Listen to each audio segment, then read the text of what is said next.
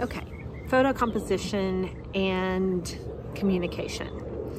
So th this one's a really good assignment. What, what I want you to do is um, you take a photo of a complex scene and then I'm making you break down that scene um, in your edits.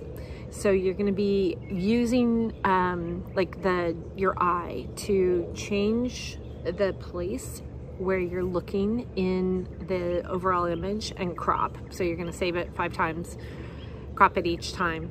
And then um, your favorite one, I want you to use that as a uh, like a, a composition for your poster. And then you're going to take phrasing and use it as messaging um, in your poster. And I want you to do this on social media because I think those tools are pretty good right now.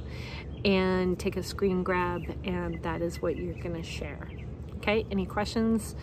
Uh, emails at m2art at offthewallgraffiti.org or hit us up on the back end of our socials. Thanks.